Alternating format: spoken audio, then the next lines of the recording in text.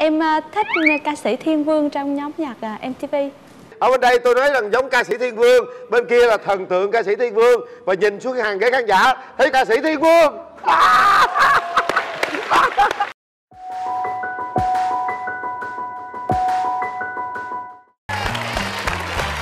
Cát Tường và Quyền Linh xin hân hoan chào đón toàn thể các bạn đến với chương trình Bạn muốn hẹn hò Quý vị thân mến, tình yêu là một điều gì đó hết sức là thiêng liêng, quan trọng với tất cả mọi người. Tình yêu nó phải đến bằng hai trái tim, bằng hai nhịp đập với nhau. Nhưng đôi khi tình yêu nó cũng đến từ những mối tình đơn phương. Anh bị trường hợp này chưa? Em bị rồi. bị rồi em nói cho anh nghe. Anh cảm nhận thế nào tình yêu đơn phương? Kinh nghiệm của em sau khi em trải qua thì em thấy tình yêu đơn phương là một cái điều gì đó hết sức là đau khổ. Em thấy một cái tình yêu đẹp phải là xuất phát từ hai phía. Yêu là phải được yêu và phải nó có một cái sự trao đổi giữa hai bên. chắc đôi khi tình yêu đơn phương đúng là được, tình yêu rất đẹp em ơi. em không thích nhưng đâu. mà anh nghĩ rằng do người ta không có điều kiện là tìm hiểu nhau. Còn nếu như có điều kiện hẹn hò chưa chắc có tình yêu đơn phương. Em tin điều đó không? Em tin. À và ngày hôm nay chúng ta sẽ chứng minh được điều đó xem thử xem có tình yêu đơn phương không nhé. Chúng ta sẽ gặp gỡ. Cặp đôi đầu tiên trong ngày hôm nay. À rồi sẵn sàng. Nào a mang xuống. Tình yêu là đề tài muôn thuở. Anh vẫn ngồi một mình nơi góc phố. Phố thật đông người nhưng sao chẳng thấy em. Lá vàng rơi bao nhiêu anh đếm hết. Nhưng không đếm được những ngày anh nhớ em đó là tình yêu. À và hôm nay chúng ta sẽ thấy được tình yêu đó nào. Xin mời nhân vật nam xuất hiện. Chào bạn. Xin mời bạn ngồi. Điển trai nha. Bạn tên là gì? Dạ mình tên là nam Quang Nam. Bao nhiêu tuổi? À, hiện nay thì uh, 22 tuổi. 22 tuổi. Chồng 21 21 Tuổi mà cũng nhầm nữa là sao?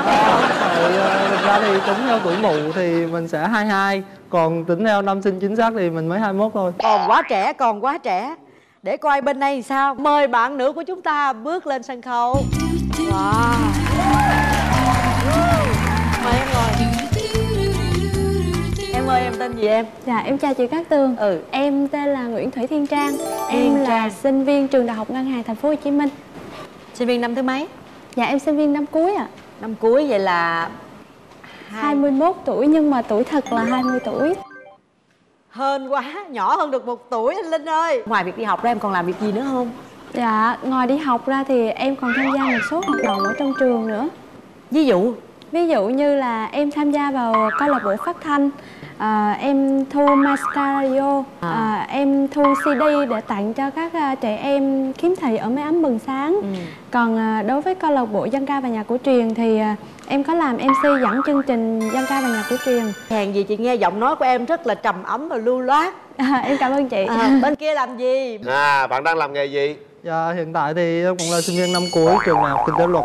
Đại học kinh tế luật luôn? Dạ À, chuyên ngành của em là ngành luật thương mại quốc tế. Hiện tại thì uh, đang thực tập tại công ty không gian luật trực tổng đài tư vấn pháp luật trực tiếp của Viettel. Bạn được gọi là tư vấn pháp luật dạ. về vấn đề gì? Ví dụ như an toàn giao thông, hôn nhân gia đình hay là những cái vấn đề khác như doanh nghiệp, lao động này nọ là tất cả đều có thể tư vấn hết. Nghe rõ chưa? Em- em Sẵn nghe sàng có- tư vấn tất cả luôn. Anh ơi, tư vấn về hôn nhân gia đình luôn hả? Đúng rồi. Theo bạn thì tính cách của bạn là con người như thế nào? Về bản thân thì thấy một mình là một người rất là cởi mở. Trong quá trình học đại học á thì hai năm là năm 2 và năm 3 thì là trưởng ban tổ chức sự kiện của một câu lạc bộ trong trường. Ừ. Thì tổ chức từ các sự kiện từ học thuật cho đến ờ, những sự kiện ngoài trời là đều có thể tổ chức được. Choáng quá, chị nghe giới thiệu mà chị còn choáng luôn Em ơi nhưng mà tham gia nhiều chương trình như vậy là đi đó đi đây nhiều quen biết nhiều. Mà vậy thì tại sao mà em vẫn chưa có bạn trai? Có thể là do mình chưa tìm được một nửa đích thực của mình. Trong 7 tỷ người thì đâu có dễ gì tìm được một nửa đích thực của mình. Thấy chưa, thấy nói chuyện chưa? Dữ luôn, dữ luôn. Sắc xéo với tôi chưa? Lý do tại sao? Bạn lại ê, ê, ê sắc ế là sao tôi không hiểu nha. Hàng ngày bạn tư vấn rất là nhiều thậm chí bạn gặp rất là nhiều người bạn có giọng nói dễ thương tại sao không tìm hiểu họ? Dạ, tại vì một phần cũng vì sợ đó anh. ủa bạn sợ cái gì? Tại vì ờ, tư vấn tổng đài trực tiếp thì những cái chuyện về hôn nhân gia đình nó cũng thường xuyên lắm. Thì những cái chuyện về ly hôn và sau ly hôn nó diễn ra rất là phức tạp. Ừm, dường như có một cái gì đó hơi sợ và ám ảnh về cái sự tình yêu á. À, tức là bạn cũng chưa tin gì lắm đúng không?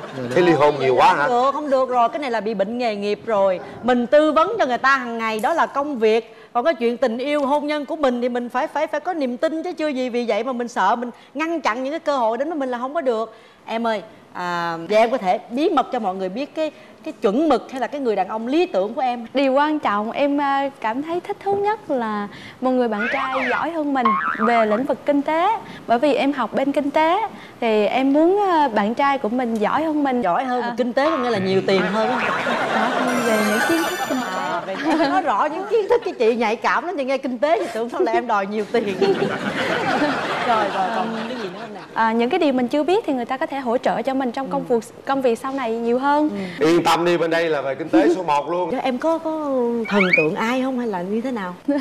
Em à, thích ca sĩ Thiên Vương trong nhóm nhạc à, MTV ở bên đây tôi nói rằng giống ca sĩ thiên vương bên kia là thần tượng ca sĩ thiên vương. Và nhìn xuống hàng ghế khán giả thấy ca sĩ thiên vương Ồ, bạn có thể bước bước lên đây tôi bắt tay bạn cái thiên vương. Thiên vương ơi chị cũng ngưỡng mộ em quá Wow. Sao mà hai người mà người nào cho chị bạn quay lại chào khán giả cái đi. Trời ơi. Bạn thấy bằng thiên vương ngồi dưới bạn tự tin không? Dạ chắc cũng tự tin 50% phần trăm. Tự tin vương trăm hả? Nhưng tôi hỏi bạn à, rằng là cái mẫu người lý tưởng của bạn như thế nào? Mẫu người thì ờ, chắc là nó không có một cái chuẩn chung đâu nhưng mà cũng thích một bạn gái nào đó dễ thương. Dễ thương là gì nữa? Cao ráo một xíu. Cao ráo bên đó có cao không?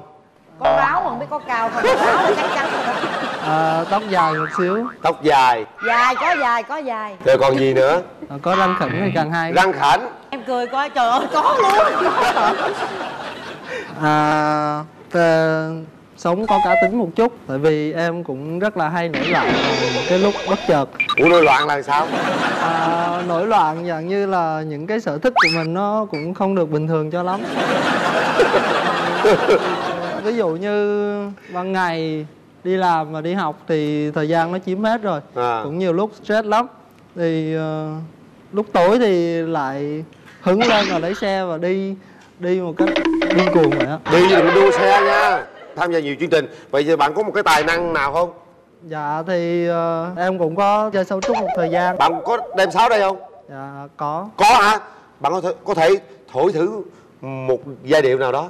Dạ mình có thể chơi thử một giai điệu. Thử nào. Trời ơi chuẩn bị sáo trong người luôn. Bên kia nghe trương chi thổi sáo nè. Nghe mỹ nương nghe mình xin dạo một khúc của bài ờ, Hình bóng quê nhà.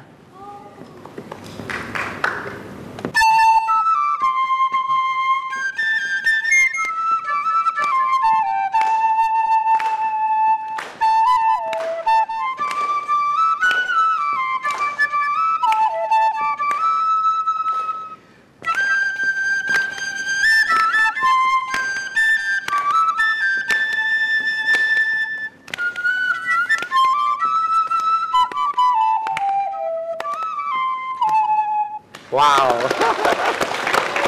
Ê nghe hay chưa? Nghe rồi nghe rồi. Nghe À. mà muốn rơi rụng cả bàn tay luôn nè. trời ơi. Anh linh ơi mà bên đó cứ toàn là khoe hàng nhiều quá. Bây giờ để cho bạn nữ của em bị lép vế rồi nè để em hỏi bạn em một cái nè. Hồi nãy giờ bên kia em nghe người ta thổi sáo hay không? Thì em có biết một cái món nhạc cụ nào không? Em phải biểu diễn lại cho bên kia người ta sợ mình chứ. Mình phụ nữ lép vế là chị không chịu đâu. Thực ra lúc đầu nghe bạn trai thổi sáo thì em cảm thấy rất là thích thú và vui mừng. Bởi vì à, ít ra thì em đã tìm được cái điểm chung giữa hai người. Tức là em cũng thích thổi sáo. Có nghĩa là em thổi sáo được đúng không? Anh linh ơi linh ơi. Biết thổi sáo phải không? Anh linh ơi nhà Thử bên đó có, có thể đưa cây sáo qua nhà bên này mượn tí không? Đây đây đây đây. Thử xem nha. Thổi có giống bên à, bên đây không nha? Rồi. Bạn hồi hộp chờ đợi đi. Coi thử có đồng nghiệp thổi sáo giống mình không? Biểu diễn em.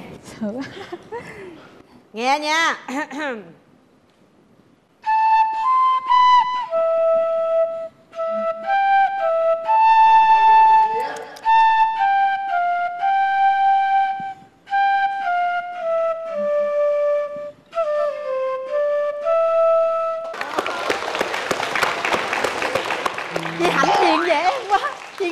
mộ em quá.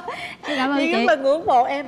Cảm ơn em nhiều. Anh linh ơi em thiệt em rất là là là là ờ, phấn khích ở trong người. Em cảm thấy em rất là háo hức luôn. Bây giờ em em không được em phải coi cái mặt em nhìn đi nhìn thiên vương sao đây y chang vậy đó. Không phải không? Bây giờ bây giờ khoan nha. Bây giờ chị hỏi em nè. Em nói thần tượng là thiên vương của em mà nãy em gặp thần tượng em trước mặt em có cảm xúc gì trong người không? Em nói chị nghe trước khi chị coi cái người kế bên có giống cái người ngồi ở dưới ấy hay không? Em rất là hồi hộp nếu mà anh thiên vương ngồi bên kia là em đã ấn nút ngay từ đầu rồi. Thôi được rồi. Bên kia có ngồi thấy anh thiên vương ngồi dưới không? Thấy gì? Rồi tự cho mình đi là giống được bao nhiêu phần trăm? Không có nói thách nha coi trước khi tôi coi là tôi coi tôi hạ nhục là ráng chịu à. Bao nhiêu? À, chắc 80 phần trăm á chị. 80 phần trăm. Cho trả giá đó. 50 là tôi tôi, tôi bấm nút rồi. Qua nè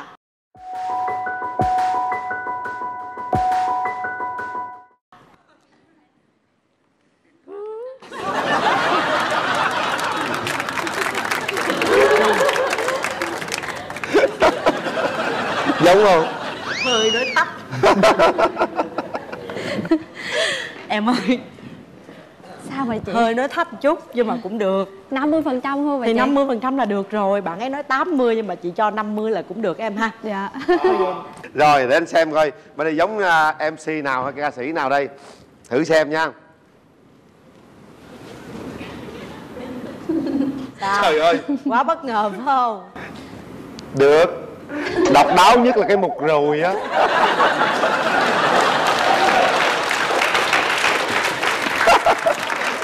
Anh nói nghe nha cái mục ruồi nó bự chả cái nè cái bằng cầm tay nè mà biết nằm chỗ nào.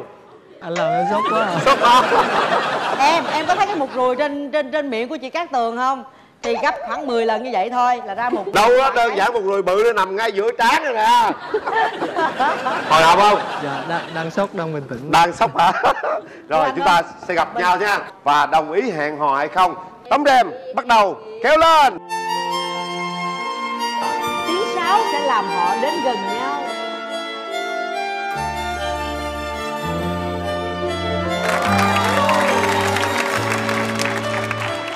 nhau nhìn nhau. Chào bạn có hai phút thôi Chào bạn. em? Lúc nãy so với trong lúc mà che rèm với bây giờ thì bạn có cảm nhận gì về mình không? À, mình thì hơi bối rối bạn thấy một ruồi bự không?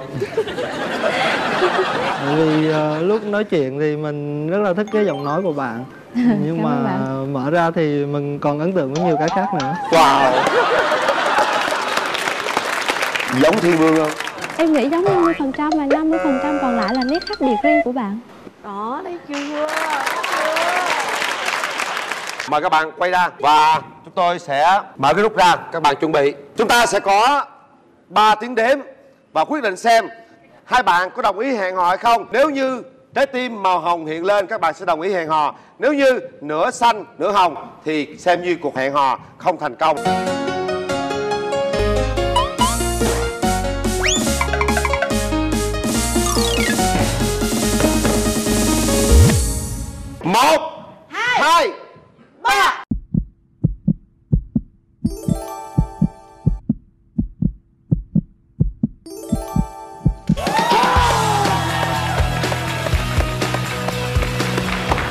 các bạn.